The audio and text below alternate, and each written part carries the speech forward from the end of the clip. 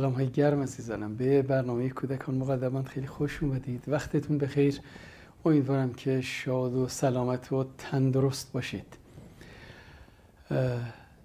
در هفته گذشته دوستانی با ما تماس داشتن نکاتی رو با ما در میان گذاشتن که در برنامه امروز گنجوندیم و کلا برنامه امروز رو راجع به تفاوت‌های آموزش و پرورش دو نگاه دو روش دو متد و دو نوع مانع در آموزش کودکان رو مورد بررسی قرار میدیم. مطمئنا مورد توجه شما عزیزان قرار خواهد گرفت. اجازه بدید راه تماس رو با هم مرور کنیم و برگردیم به موضوع برنامه که در رابطه با ترک تحصیل و چرایی های اون هست. عزیزانم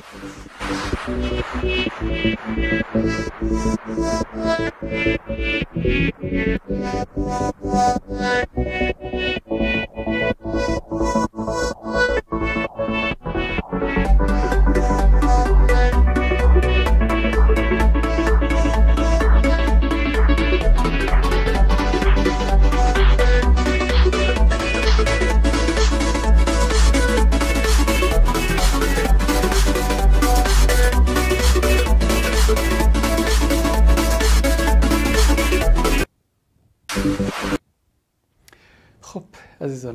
تماس رو دیدید مثل همیشه با همین شماره تلفن که در پایین صفحه هست. با ما در تماس باشید با همین شماره تلفن تلگرام واتساپ وایبر لاین و ایمو. در خدمت شما هستیم. ما رو در فیسبوک دنبال کنید و همینطور به کانال تلگرام کودکان مقدمند سر بزنید. ات کودکان ام. شناسه ما در تلگرام هست. و ایمیل آدرس هم که در خدمتتون هست و از اون طریق هم می‌تونید مایل بودید تماس بگیرید. در برنامه امروز می‌خوایم یک مقایسه ای بکنیم دو مقایسه تصویری و دقیق در رابطه با اینکه چرا کودکان و دانش آموزان ترک تحصیل می‌کنن. به مرور به پایان سال تحصیلی نزدیک میشیم. کرونا و کوید 19 همه چیز رو تغییر داد. آموزش پرورش هم تغییر داد و مدارس تعطیل شدند. اگرچه مجددا بازگشایی شدند ولی دانش آموزان زیادی در اونها حضور ندارند. مدارس عملا تعطیلند. اون اپلیکیشنی هم که قرار بود دانش آموز و معلم و مدرسه رو به هم وصل کنه عملا ناکارآمد شد و در خیلی از جاها که اینترنت و تبلت و کامپیوتری در اختیار دانش آموزان نیست که بخوان از اون طریق اصلا تماس بگیرن. اغلب و اکثر دانش آموزان در ایران از چنین نعمتی برخوردار نیستند. اما چرا دانش آموزان ترک تحصیل می کنند؟ به تصاویری که کنار دست من می‌بینید و نوشته های اون دقت کنید. اگرم اتاق فرمان امکان پذیر هست براش کمی سرعت نشون دادن این عکس ها را هم کم بکنه اگر امکان پذیر است. اما بپردازیم به اینکه چرا دانش آموزان از مدرسه دستشون قطع میشه. آیا به تحقیقات عجیب و غریبی ما نیاز داریم؟ باید سالها تحقیقاتی صورت بگیره که بفهمیم چون کودک امکان مالی برای ادامه تحصیل نداره دستش از مدرسه کوتاه میشه. به کودک کار و خیابان تبدیل میشه. به کارگر خردسال کم درآمدی تبدیل میشه. این به تحقیقات عجیبی احتیاج نداره. اما چرا خود این اتفاق میافته اینجا باید مکس کرد. چرا کودکان ترک تحصیل می‌کنند؟ معلومه. 99 دهم درصدش در مورد اینه که از کودک حمایتی نمیشه. کودک امکانات مالی نداره یا به ویژه در مورد دختران ازدواج به ازدواج دادن کودکان اونها رو از تحصیل محروم می‌کنه. اما اون چیزی که ما می‌خوایم بهش نگاه کنیم سیستمی است در آموزش و پرورش که کاری می‌کنه کودک سر کلاس بشینه و یا برعکس کاری می‌کنه که اگر کودک امکانات مالی نداشت بره دنبال یه کار دیگه ای مدرسه دیگه نیاد. شهریه ها هزینه گران تحصیل طبقه بندی کردن مدارس 23 نوع مدرسه در ایران هست. برابر با پلکان که در کیف پول مردم هست. هر چقدر پول میدی همونقدر آش می‌خوری. آموزش هم همینطوره. قرار نیست دولت به ویژه جمهوری اسلامی به کسی آموزشی بده. پول داری آموزش می‌خری. نداری نداری. به همین سادگی. مثل لباس کفش کیف یا هر چیزی دیگه ای اگر شما پول داری مرغوب ترینش رو می‌خری. نداری دست دوش رو می‌خری. نداری هیچی نمی‌خری. نداری. آموزش هم همینه. این یکی از جنایات بیبدیلیه که جمهوری اسلامی در آموزش پرورش انجام داد. آموزش پرورش رو چوب حراج زد و فروخت. فروخت به بازار آزادی که خودش درست کرده بود. مدارسی که واقعا اسامیشون اصلا عجیب غریبه. دولتی نیمه دولتی و امثال هم تیز هوشان باهوشان کم هوشان همینطوری چیده تا آخر. چند نوع مدرسه برای بنیاد شهید؟ چند نوع مدرسه اصلا گفتن نداره آخرش. خب همه اینا نتیجهش چی میشه؟ نتیجه اینه که یک سیستمی هست که کودک رو از مدرسه بیرون می‌کنه میفرسته تو بازار کار. برعکس یه سیستم دیگه هست که کودک رو در آغوش می‌گیره توی مدرسه نگه میداره و تبدیلش می‌کنه به یه انسان مفید. همین تصاویری که کنار دست من می‌بینید تصاویری است که کاملا برای شما آشناست. کار برای کودکان یکی از موضوعاتی است که کودک رو از مدرسه خارج می‌کنه. از چرخه تحصیل بیرون میاره. برابر آمارهایی که خود جمهوری اسلامی میده 7 میلیون و 500 هزار کودک از چرخه تحصیل خارج شدن. اما این رقم بارها بیشتر تعداد دانش آموزان و تعداد دانش آموزان واجد شرایط سنی رو کنار هم بذارید از این رقم 7 میلیون و 500 هزار بیشتر میشه. باید بیشتر از نزدیک به 20 میلیون نفر در آموزش و پرورش به عنوان دانش آموز باشن. الان دوازده هزار خورده ای زیر 13 میلیون. اشتباه گفتم. زیر 13 میلیون. دوازده میلیون و خورده ای این, این رقم به سادگی به دست میاد. اما اجازه بدید.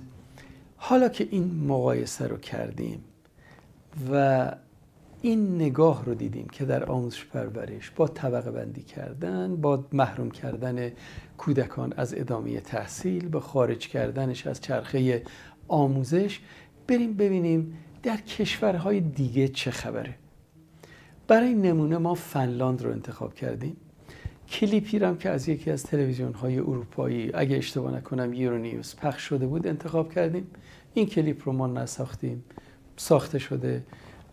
با اجازه پخشش و همینطور ذکر منبعش ما آماده کردیم برای شما پخش کنیم. روی نکاتی که در این کلیپ گفته میشه به ویژه در فنلاند دقت کنید. ببینید اونجا در این کشور پنج میلیون خورده ای که نه ذخایر نفت و انواع و اقسام معادن و غیره رو نداره هیچ کدوم رو در اونجا آموزش پرورش رو چگونه سازمان دادن؟ توجه کنید. به جهان آموزش خوش آمدید. این هفته به فنلاند آمدید. این کشور اسکاندیناوی که به داشتن بهترین مدل های آموزش پرورش شهرت دارد. هیئت های مختلف از همه جای دنیا دائما به این کشور می آیند تا به راز موفقیت آنها پی ببرند و این دقیقا همین کاری است که ما این هفته قصد داریم انجام دهیم. روز اول میریم به هلسینکی در یک مدرسه تا ببینیم چه دیدگاهی بر سیستم فنلاندی حاکم است.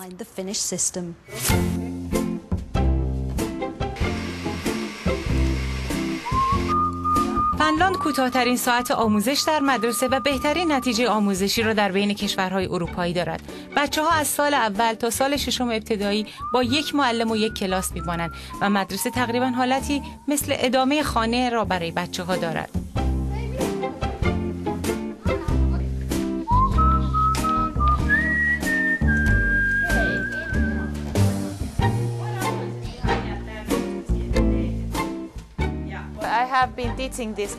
من الان چهار ساله که همین کلاس رو درس میدم. خیلی خوبه. خیلی جالبه که می‌بینید بچه ها بزرگ میشن و یاد می‌گیرن. به نظر من این بهترین روش تدریسه. تقریبا انگار مادر دوم بچه ها هستی شرایط معلم شدن در فنلاند بسیار سخت است. معلم ها باید مدرک کارشناسی ارشد داشته باشند. ویژگی منحصر به فرد دیگر سیستم آموزش فنلاند این است که معلم ها در روش های تدریس کاملا خودمختارند به عنوان مثال در مواد یا روش های آموزش و تدریسشان هر طور که مایل باشند عمل می کنند معلم ها آزادی عمل کامل دارند. بچه ها با بازی و آزمایش کردن به شکل گروهی یاد می گیرند مثل کلاس علوم.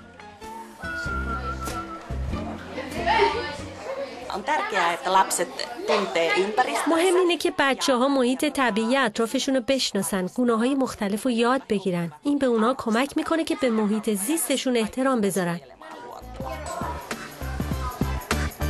در فنلاند زمان بازی بخش بسیار مهم فرایند یادگیری است. ساعت تفریح زیاد است و حتی در زمستان بچه ها را تشویق می کنند که بر بیرون از کلاس در فضای آزاد بازی کنند. به بچه ها اعتماد می‌کنن و حتی در نهارخوری بچه ها اجازه دارن خودشان غذا بگیرن. توی غذاخوری خدمه وجود ندارد. تاکید بیشتر روی موسیقی ورزش و هنر است. فکر نکنید این یک مدرسه استثنایی در فنلاند است. درست برعکس همه مدرسه ها در فنلاند دقیقا همینطور هستند و نتایج درخشان این مدرسه ها مشابه همه مدرسه های دیگر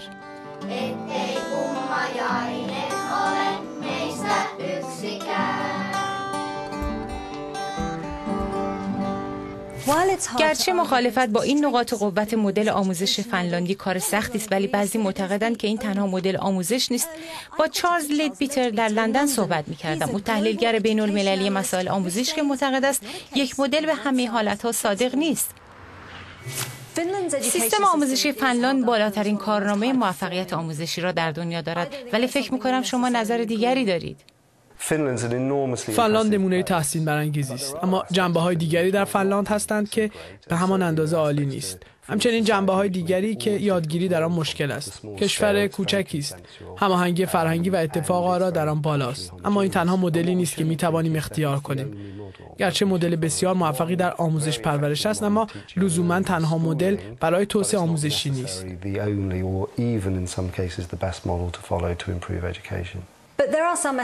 ولی بعضی از جنبه های آن را می توان به جاهای دیگر دنیا تعمیم داد. مثلا تشویق استقلال و خودمختاری معلمین خلاقیت و نوآوری اینها را چطور میشه در مقیاس جهانی تعمیم داد؟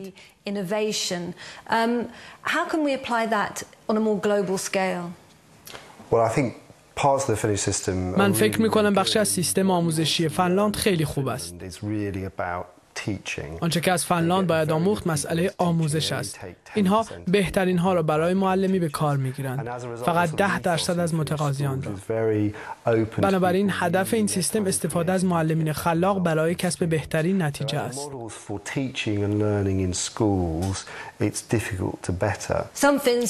کسانی که به جنبه تجاری مسئله فکر می‌کنن پی بردن که این مدل رو میشه به جاهای دیگه هم صادر کنند البته با یک حالت ترکیبی. نظر شما در این باره چیه؟ فکر خوبیه.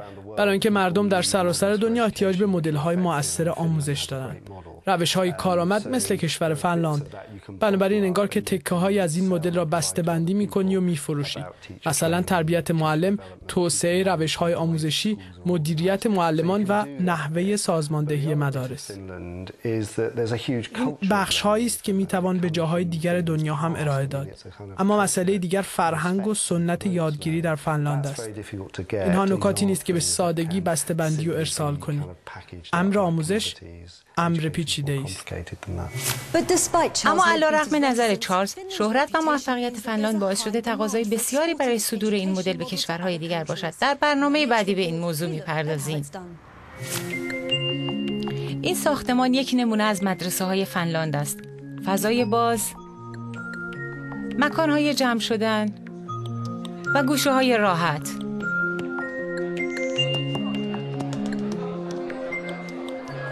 بر اساس فرضیه ها کشورهای دیگر هم مایل هستند مدارسی بسازند که آرام باشد و با نقشه ساختمانی خوب بچه ها را تشویق به کار گروهی کنند.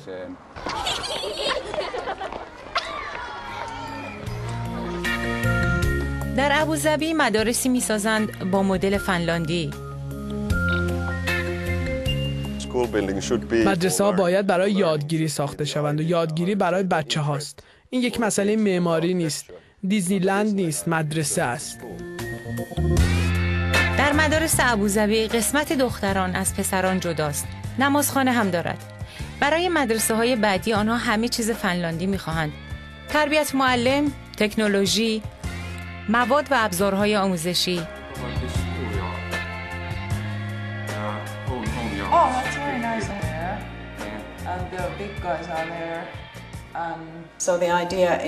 ایده ما این است که با کمک تکنولوژی و روش های تربیتی جدید فقط دانش را از معلم به شاگرد منتقل نکنیم. برعکس می خواهیم بچه ها فعال باشند مسئله این است که انسان ها چطور با هم و گروهی به دانش دست یابند.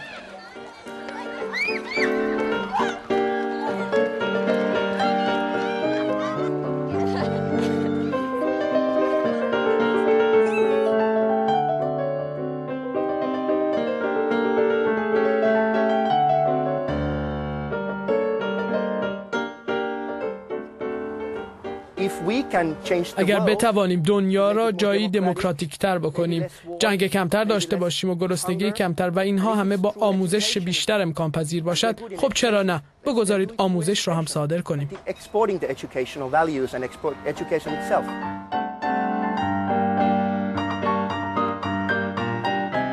به جهان آموزش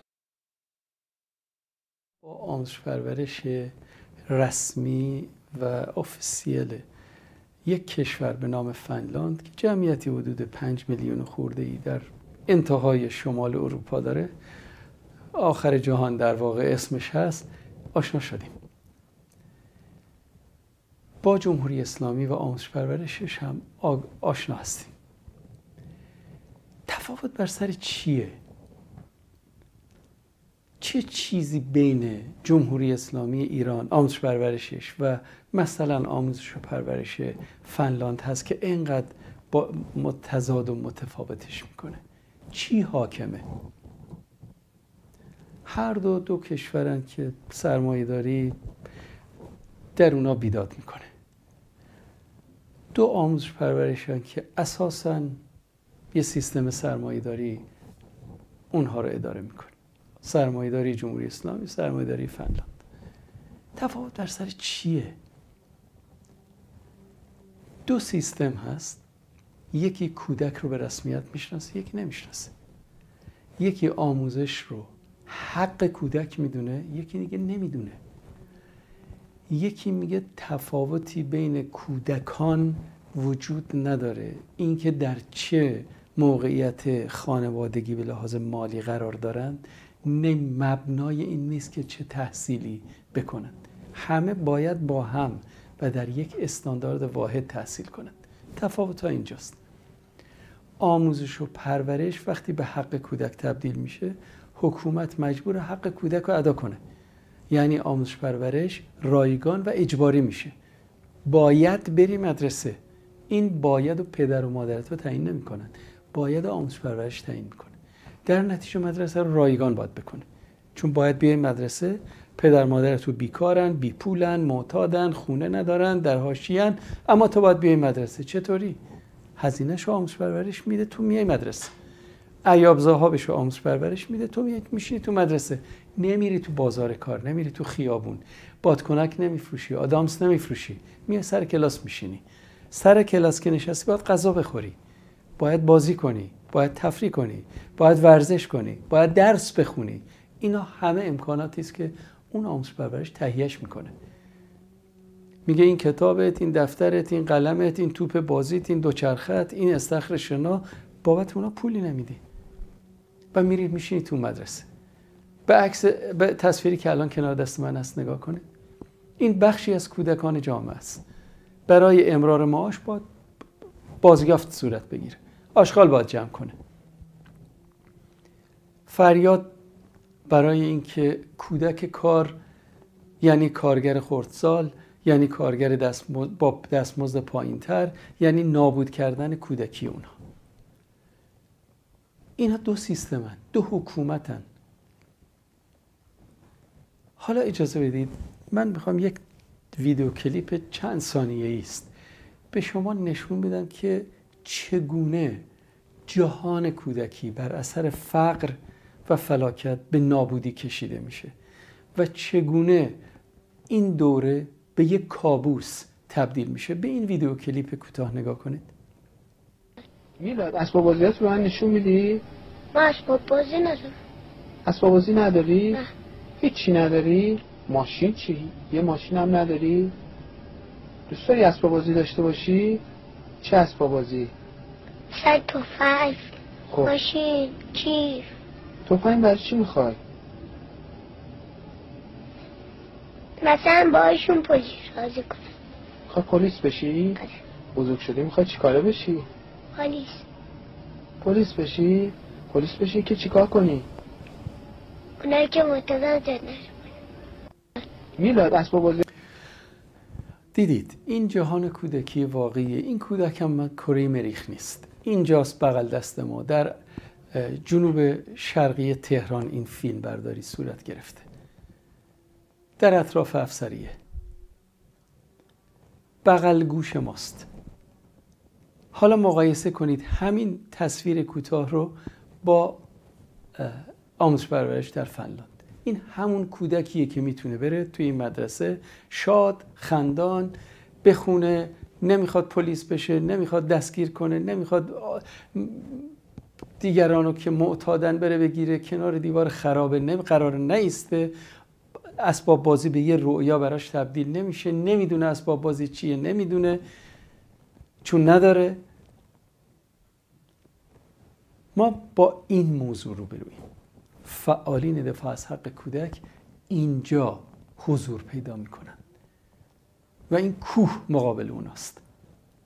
معلمینی که به این وضعیت جهنمی آموزش پرورش اعتراض می‌کنند تحسن می‌کنند دست از کار می‌کشند تظاهرات می‌کنند تجمع می‌کنند.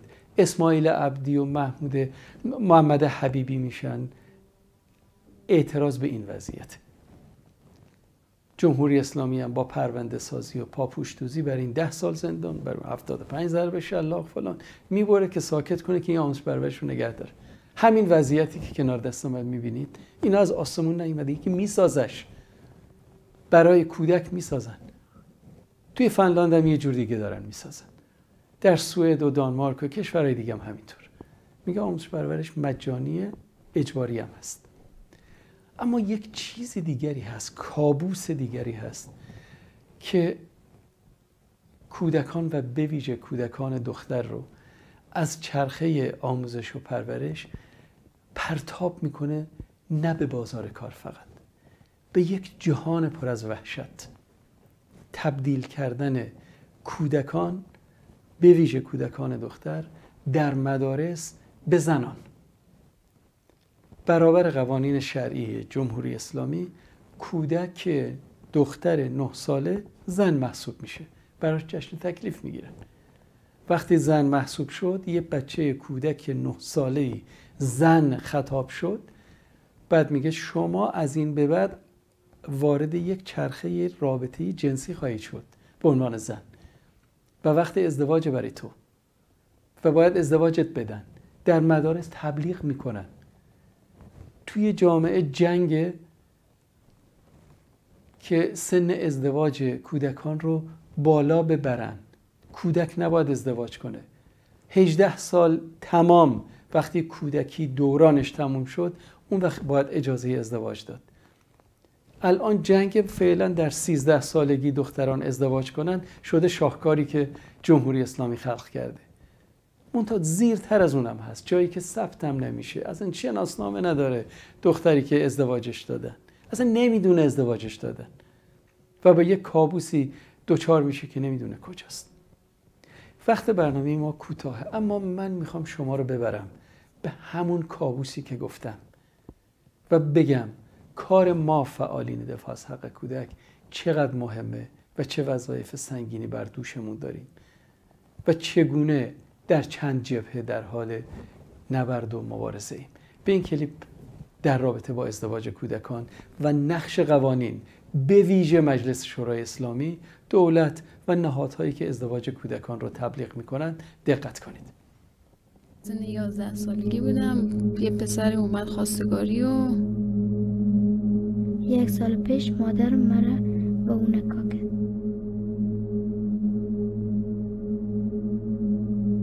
بعد از اینکه عقد کردن و اینا شب که شد پسر مثلا اونجا وایستاد اینا و گفتم که این چرا اینجا وایستاده؟ گفتن این شوهرت و از دست همه ناراحت هستم بیشتر از دست مادرم. هر شب هر شب وقتی اون میومد حتما کتکه رو می‌زدن که باید بری حتما با این بخوابی. مادرم به خاطر پول مرا به عابد داد. که شیر به بگیره. اصلا رایی هم نداره. شوهرت شده که بری باش بخوابی دیگه. علکی برات خرج که نکرده هزینه که نکرده. مادرم به مدیر ما قول داده که بعد از عروسی مرا میمانه که مدرسه برون.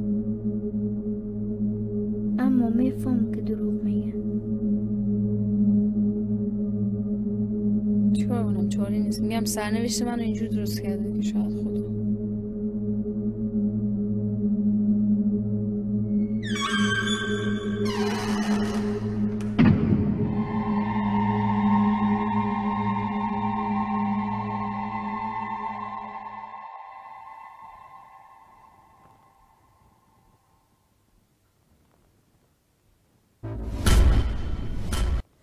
بسیار خوب. وقت زیادی برای ما باقی نمونده. فقط من می‌تونم توجه شما رو جلب کنم به شماره تلفنمون و بگم که برای این موضوع و کنکاش و صحبت کردن و راه حل باید با هم گفتگو کنیم. منتظر تماساتون هستم. بهترین ها رو براتون آرزو می‌کنم. به اتفاق همکارم حامد جمالی در اتاق فرمان از حضورتون مرخص میشیم